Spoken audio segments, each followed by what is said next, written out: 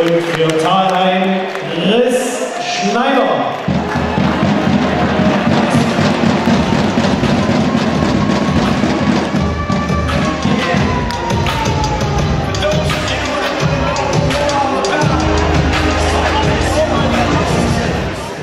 Chris, du bist heute, glaube ich, aus Frankfurt oder gekommen von der Sportschule, wo du ja die ganze Woche über bist.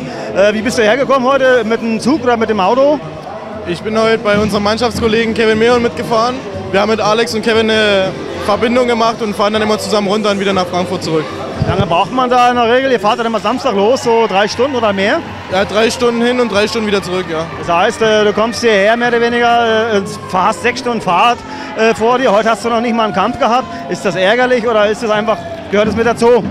Ja, das ist schon ärgerlich. Ich hätte schon gern gezeigt den Leuten hier, wie ich mich entwickelt habe und so weiter, aber man kann es im Endeffekt nicht ändern und dann muss man jetzt halt damit klarkommen.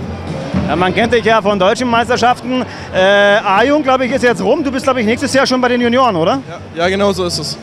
Äh, viele sagen, der Sprung von den A-Jungen zu den Junioren ist leistungstechnisch ziemlich krass.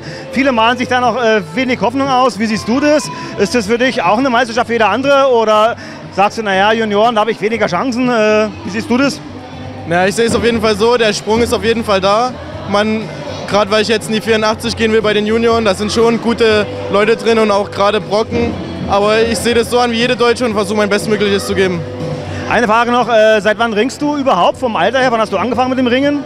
Ich ringe seit der ersten Klasse, so ungefähr mit sechs, sieben Jahren habe ich angefangen. Eigentlich früher äh, kann man schon fast gar nicht mehr anfangen. Und immer schon hier beim RV Thalheim oder warst du vorher woanders? Nee, ich war schon immer, habe mein ABC beim RV Thalheim gelernt.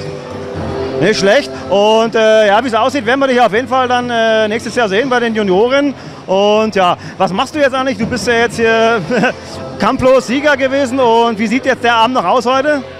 Also ich werde jetzt erstmal nach Hause fahren, weil sonst komme ich hier gar nicht mehr nach Hause, obwohl ich in Thalheim bin, wo ich auch wohne.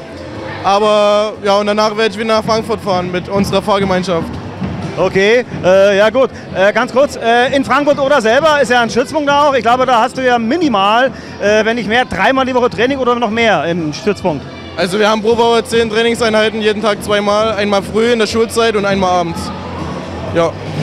Ja, vielleicht sieht man sich nochmal in der Rückrunde irgendwo. Ansonsten denke ich mal spätestens dann auf der Deutschen nächstes Jahr. Genau so wird es sein.